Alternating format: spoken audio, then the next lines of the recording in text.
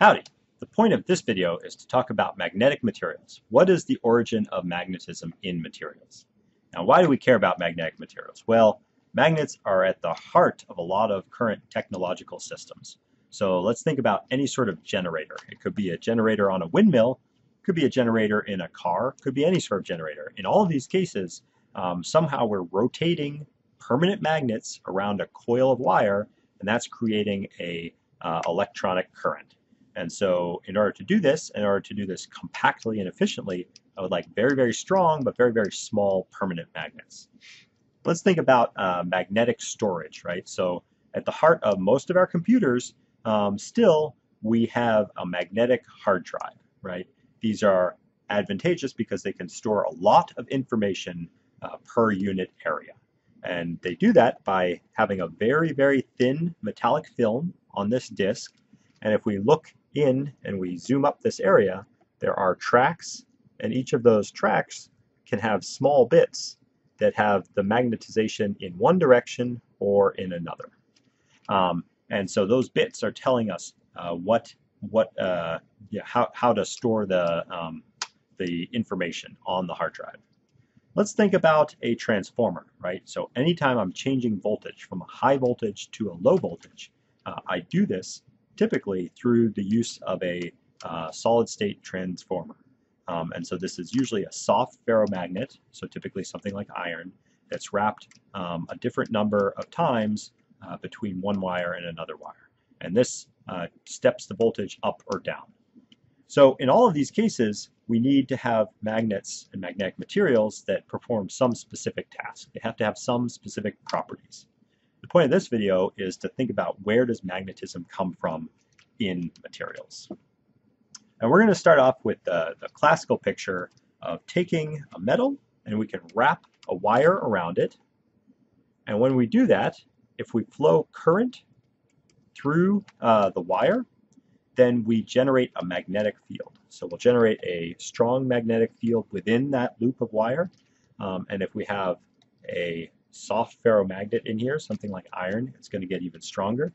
And you can see the stray field that comes out around because all of the magnets that we're familiar with are dipoles. There's a positive and a negative side. There's no magnetic monopole that has been observed to exist. So from this picture, we think of moving current as being required to create a magnetic field. So what about in a magnetic material? I don't think about there as being moving current, but on the atomic level, you can think about the electrons moving in the system, right?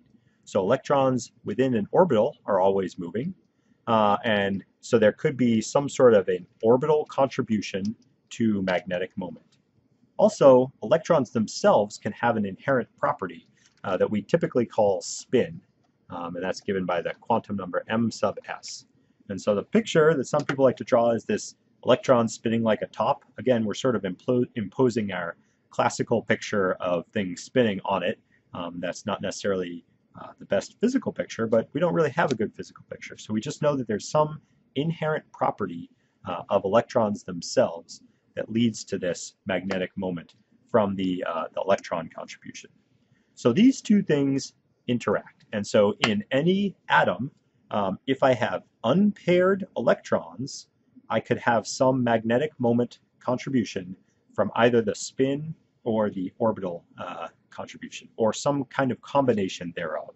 So the combinations get a little bit um, tricky, uh, and we're not really going to go into those here. Um, this is based on quantum mechanics, uh, but you can understand the different um, potential magnet, uh, magnetic contributions based on what quantum numbers are uh, satisfied in certain elements. So let's look at a general periodic table. Now remember, um, I told you that we need to have unpaired electrons to get this magnetic contribution. Um, and so what that means is a couple things. First of all, uh, the noble gases are never going to have a residual magnetic moment because they're always closed-shelled. We never have um, unpaired electrons. Um, so the things that tend to be the most magnetic are those that are kind of in the middle of the transition metal series because we can have a lot of unpaired electrons here or in the middle of the rare earth um, series. So we can have, again, we can have a lot of um, unpaired electrons uh, in, uh, in the middle of these series, right? So think about uh, the rare earth has 14 electrons in those f orbitals. Um, so I could have a maximum of seven unpaired electrons at some particular state.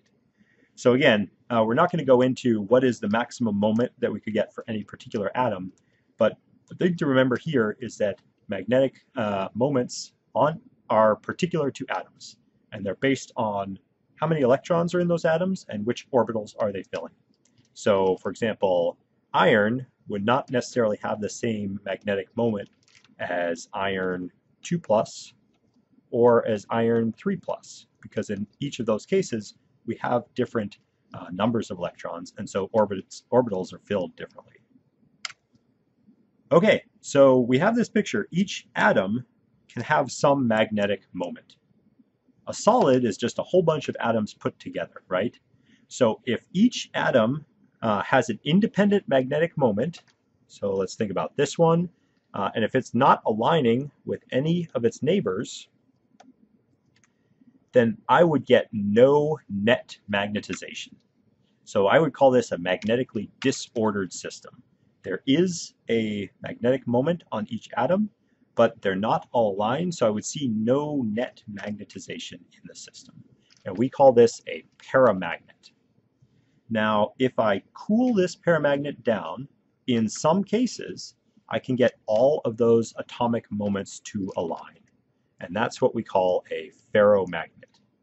So this is what we think of um, as a permanent magnet, something that has a permanent aligned magnetic field. And in order to do that, it must have atoms that are uh, aligned. There is some interaction energy between these different uh, atoms that says it's going to be beneficial, it's the whole system will establish a lower overall energy if they're all pointing in the same direction.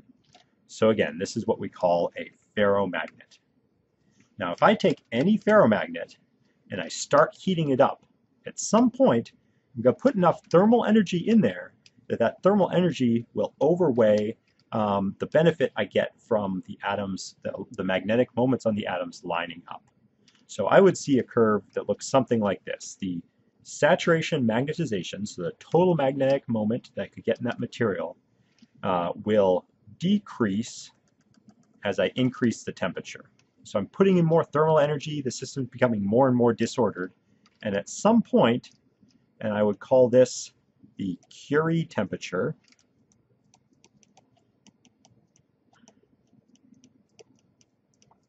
the system is no longer ordered. All of those atomic moments are now going to be free to take different directions. So this is one kind of a transition in magnetic material systems, a transition between a ferromagnet and a paramagnet. And all ferromagnets, at some point, if I heat them up to high enough temperature, they'll become paramagnetic.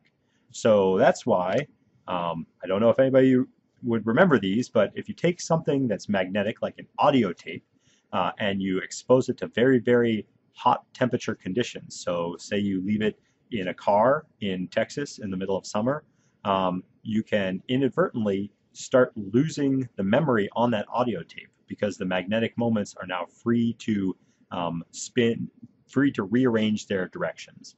And so you can lose that magnetization.